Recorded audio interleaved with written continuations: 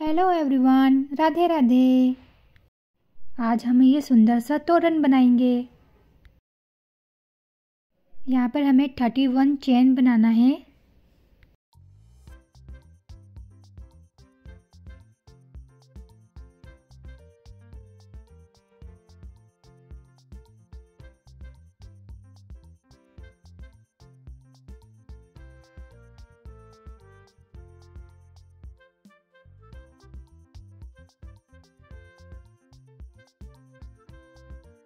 Thirty one chain बनाने के बाद हम फोर चेन को स्किप करेंगे और जो फिफ्थ नंबर की चेन है, यहाँ पर हम एक डबल क्रोशेट बनाएँगे। एक चेन लेंगे, एक चेन को स्किप करेंगे और इसके अगले वाली चेन में हम एक डबल क्रोशेट बनाएँगे।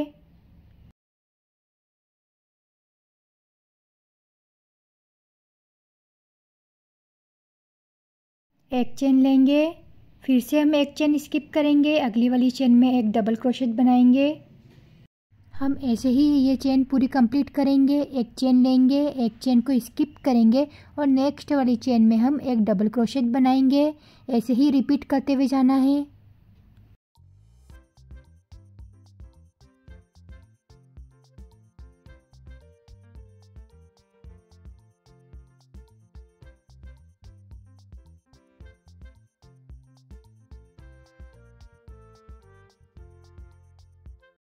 फ़र्स्ट रो कंप्लीट होने के बाद हम सेकेंड रो में चार चेन लेंगे। यहाँ हमें शुरुआत चार चेन से ही करना है। टर्न करेंगे। यहाँ पर हमें होल में एक डबल क्रोशेट बनाना है।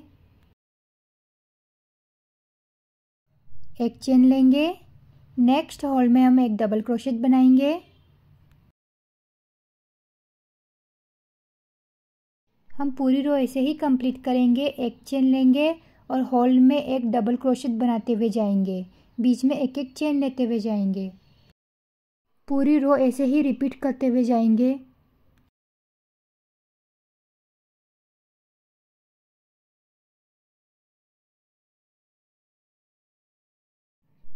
थर्ड रो में हम चार चेन लेंगे। टर्न करेंगे। होल में हम एक डबल क्रोशेट बनाएँगे। एक चेन लेंगे। नेक्स्ट होल में हम एक डबल क्रोशेट बनाएँगे। ऐसे ही हम पूरी रो कंप्लीट करेंगे।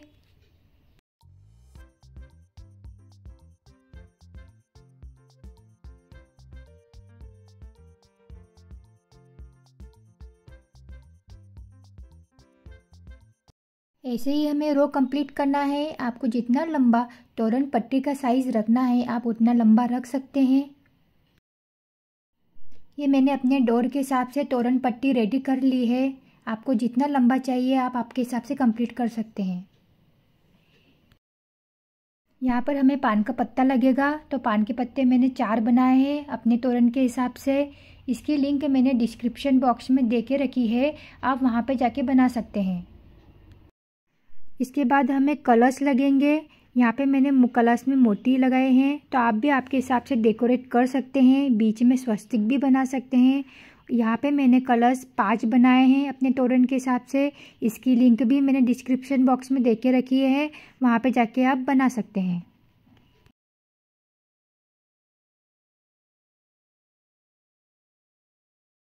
इसके बाद मैंने गणेश जी बनाए हैं। तो गणेश जी मैंने चार बनाए हैं। लीफ, जितनी लीफ होगी, उतने ही गणपति जी बनाने हैं। तो इसकी लिंक भी मैंने डिस्क्रिप्शन बॉक्स में दे के रखी है। पहले आप तोरण पत्ते को पूरा सीधा कर लेंगे।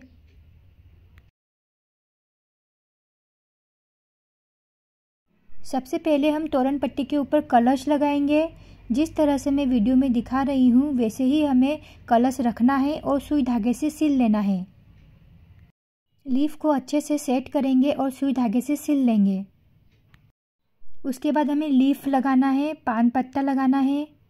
यहाँ पर हम अंदर डाल के पान पत्ते को ऊपर से सिलाई लगाएँगे येलो कलर के धागे से। एक बार हम कलश लगाएँगे और एक बार हम पान पत्ता लगाएँगे। फिर से हम कलश लगाएँगे।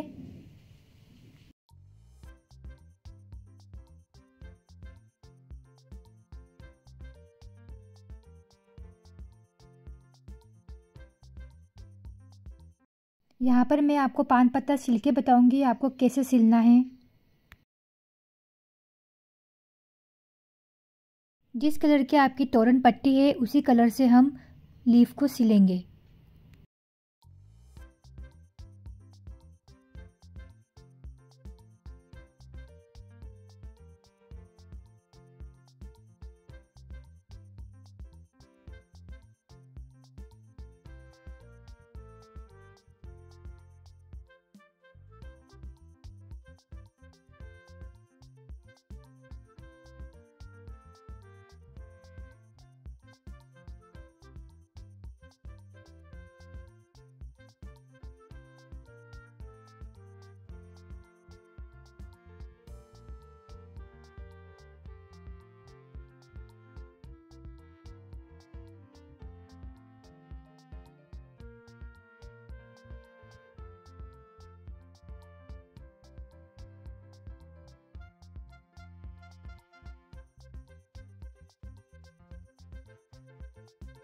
यहाँ पर मैंने कलश और लीफ को स्टिच कर दिया है।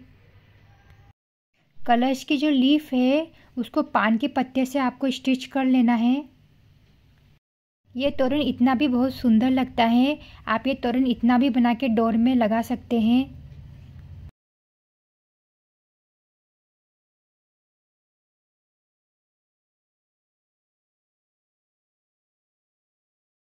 इसके बाद हम लीफ के ऊपर गणपति जी लगाएँगे।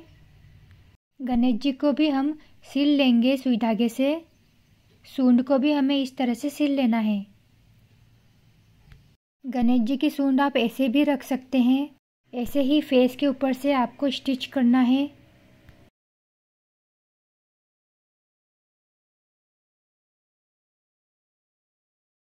गणेश जी को भी मैंने स्टिच कर लिया है। हमारा तोरण बन के रेडी है। तो कैसा लगा आपको ये तोरण? तो कैसे लगते हैं आपको मेरे वीडियोस कमेंट करके ज़रूर बताइए। चैनल को सब्सक्राइब भी करिए। तो फिर मिलते हैं नेक्स्ट वीडियो में।